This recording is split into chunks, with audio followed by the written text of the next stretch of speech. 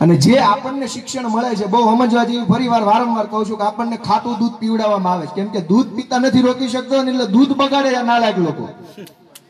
નવરાત્રીનું vacation પડે જ શું કામ? મારે મારો છોકરો ભણાવો છે, ભુવન નથી બનાવો, એને એન્જિનિયર બનાવો. તમે કોણ છો વેકેશન પાડવા વાળા પણ આ જ્યારે નવરાત્રીનું વેકેશન પડે છે, છતાં આપણે બોલી શકતા નથી. કેમ કે આપણું શિક્ષણનું જે દૂધ છે, એને બગાડવાનું કામ કરે છે.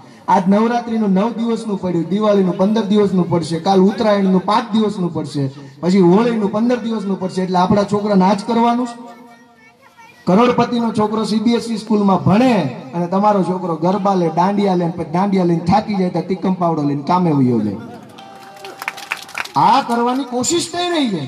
એટલે યુવાનોને મારે તમને એ કહેવાનું છે, ખાલી એમ ન સમજતા કે અનિલભાઈ પરમાર પીએસઆઈ બેઠા છે એટલે હું એન જેવો પીએસઆઈ બની જાઉં. તમે એમ વિચારજો હું આ રાજ્યનો શિક્ષણ મંત્રી બની જાઉં ને આ બધા મહાપુરુષોને કોર્સમાં દાખલ કરીને ભણાવવા આવતી પેઢીઓને. આવી વેકેશન વેકેશનની ફાલતુ વાત જ ન હોય. એટલે શિક્ષણ મંત્રી બનવાનું સપનું લઈને નીકળશું તો બનશું. નહીં તો નોકરી તો ગમે એ કરી લે છે આજકાલ કઈ એવડી મોટી વાત રહી નથી, નોકરી લેવી કરવી. નોકરી ગમે એ કરી લે છે અત્યારે. અને જીસર જીસરમાં જિંદગી નીકળી જાય છે. બાપાનું ન માનતો પણ સાહેબ કેમ કરતો શાકભાજી લઈ આવે સાહેબ ને આશરે એવી જિંદગી જીવવા કરતા ભલામણ આમ રાડ્યું પાડી આમ ચીની જેમ ત્રાડ્યું પાડી એક સમાજ માટે. આપણા સમાજની વાત આપણે કહીશું ને કોની વાત કહીશું? એટલે આ શિક્ષણનો સંદર્ભ જે છે એ કેળવણીથી આપણે સમજીએ. તો મને એવું લાગે છે કે આપણે જીવનમાં વિશેષ પ્રગતિ કરી શકીએ. આજ એન્જિનિયર છે. રિક્ષાવાળા એન્જિનિયરો છે. પટાવાળા એન્જિનિયર છે. હું અહીંયા જુનાગઢમાં પોલીસમાં ટ્રેનિંગમાં હતો. હું બાર પાસ હતો. મારી જ્યારે જે ટ્રેનિંગમાં હતો એ પીએચડી હતો. લ્યો. ચાર હજાર પાંચસો ની નોકરી કરવા પીએચડી થયેલો માણસ આવતો હતો. તો એની પાસે પીએચડી નું કાગળ છે. કેળવણી નથી. કેળવણી હોય ને એને અમેરિકાથી માણસ જુનાગઢ લેવા આવે કાલભાઈ તારી ન્યા જરૂર છે. એટલે કેળવણી દીકરીઓ એટલી મોટી સંખ્યામાં છે, બહુ ખુશીની વાત છે. અને તમે બધા તો હું તો કહું છું કે આપણી સુનિતા વિલિયમ્સ જેમ આપણે અંતરિક્ષમાં જેમ આમાંથી દસ બાર દીકરીઓ અંતરિક્ષમાં જાઓ, મંદિરમાં આપણે શું કામ છે?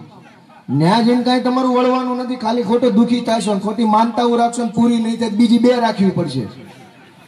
સુનિતા વિલિયમ્સ, તમે નામ સાંભળ્યું હશે? અંતરિક્ષમાં જાય. આપણા આપણા ઓલિમ્પિકના ખેલાડી, મહિલા ખેલાડી પીટી ઉષા છે દોડમાં એનો નંબર આવે. આપણા સપના એ જોઈએ. અને એ રસ્તા ઉપરથી આપણે કંઈક કોકને આપી શકીશું એટલે આવી બહુ લાંબી વાત કરવી નથી નહીં હવે આમાં આ બાજુ હોઈ જાય એવી તૈયારીમાં છે ચાર પાંચ જણા. ઊંઘ પણ એ હુઈ જાય એમ છે. પાણી છાંટી દઈએ.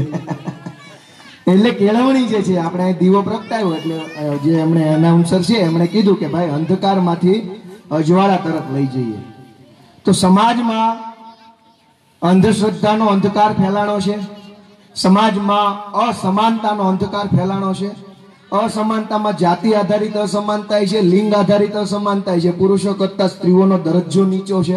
દીકરા કરતા દીકરીનો દરજ્જો નીચો છે.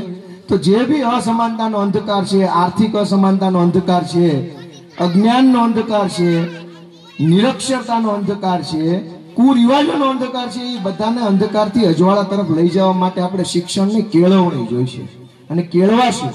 અને નવી પેઢી પાસે વિદ્રોહ, હું હંમેશા એમ કહું છું, બળવો કરો ભાઈ. સુનિલભાઈએ સરસ વાત કરી કે ભાઈ મેલો વ્યવસાય આપણે બંધ કરી દો પણ વડીલો પણ નથી કરતા, પણ યુવાનો એની સામે બળવો કરવો જોઈએ. ઘર હોય તો માનો હું મારા મમ્મી સામે અત્યારે યુદ્ધ ચડ્યો છું. મારા મમ્મી ધાર્મિક છે હું અધાર્મિક છું. નાસ્તિક નથી, અધાર્મિક. એ એમ કે તું અધાર્મિક છો ભાઈ. તો બળવો ઘરમાંથી ચાલુ કરીશું તો આપણે સમાજનો સંઘર્ષ લડી શકશું. કેમ કે પુસ્તકોમાં જે લખાણું છે એ વાસ્તવિક જિંદગી છે જ નહીં. ક્લાસરૂમના પુસ્તકોમાં જે આવે છે એ જીવનમાં નથી આવતું. અને જીવનમાં હજી ક્લાસરૂમના પુસ્તકમાં નથી આવતું તો તમે ક્લાસ મૂકીને બહાર આવો, ત્યારે ખબર પડે કે આ બકા છટી બોલે છે. આવું તે ભણવામાં આવ્યું જ નહીં. પછી હાંધા ભેગા નથી થતા ને ગળા ફા ખાઈ જાય છે. એટલે વાસ્તવિક જિંદગી આખી અલગ છે, એ પુસ્તકો નથી. પણ એ વાસ્તવિક જિંદગી ઉપર લખાયેલા પુસ્તકો તમે ભણતા ભણતા વાંચો, કાશીરામનો સંઘર્ષ શું છે? કે એક વૈજ્ઞાનિક કક્ષાના માણસ હોય, કાશીરામને ન વાંચ્યો વાંચજો. સરકારી નોકરી હોય પોતે વૈજ્ઞાનિક હોય અને એ નોકરી મૂકીને એમ કે ભાઈ સમાજ માટે મારે નીકળવું સાયકલ લઈને નીકળી જાય. અને સમાજને બાબા સાહેબે તો કલેક્ટર બનવાની સત્તા અપાવી હતી. હવે કાશીરામ એવું સપનું લઈને નીકળ્યા છે કે મારે આ બધાને મંત્રી કેબિનેટ મંત્રી બનાવવા છે. અને સરકારો અપાવી છે અને એ સરકાર અપાવીને ચાર વાર ઉત્તર પ્રદેશમાં બહુજન પાર્ટીની સરકાર આવી.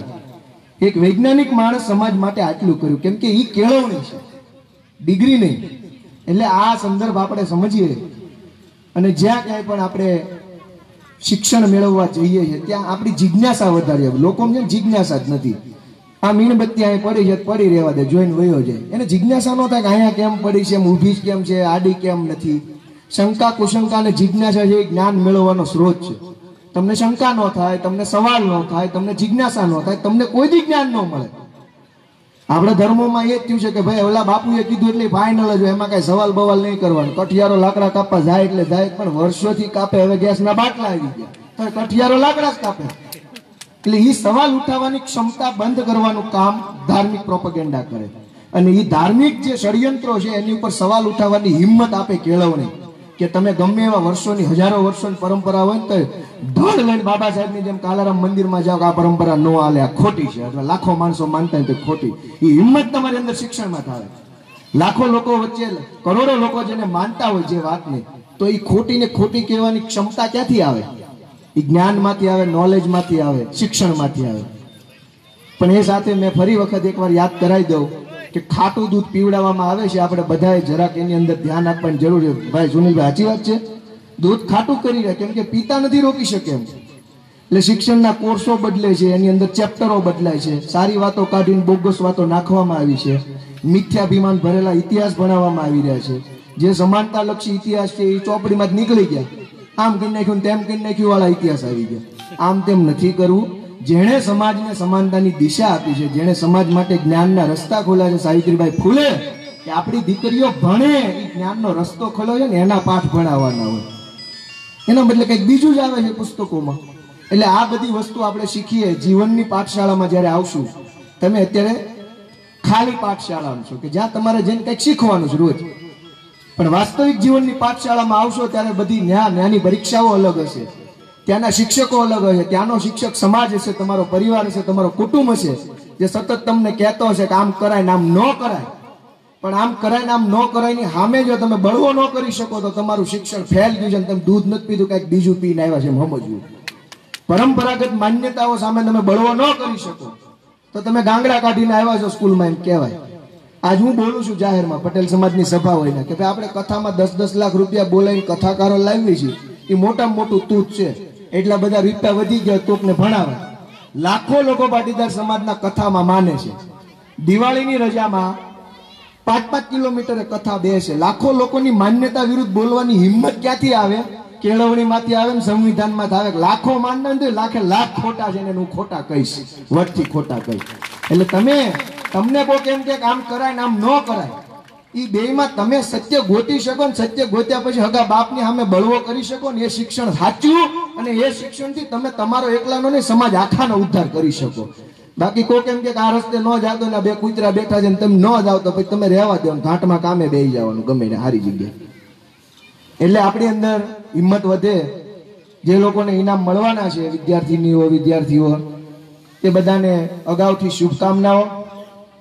અને ક્લાસરૂમની જિંદગી ઉપર ખાલી ફોકસ ન કરતા ક્લાસરૂમની બહાર બહુ મોટી જિંદગી છે. કેમ કે એક અજ્ઞાત વ્યક્તિ એવું કીધું છે કે માણસનો જન્મ થાય ને ત્યારે એનો જિંદગીના ક્લાસરૂમમાં એડમિશન થાય છે અને જ્યારે મરી જાય ત્યારે એને પદવીદાન એટલે ડિગ્રી મળે છે અને ડિગ્રી મરી ગયા પછી લોકો આપે છે કે કેવું ભણ્યો શું ભણ્યો. એટલે ત્યાં સુધી સળંગ સ્કૂલ છે. જીવનમાં જન્મ્યા ત્યારે સ્કૂલ ચાલુ થઈ ગઈ અને તમે મરો ત્યારે સ્કૂલ પૂરી થાય છે.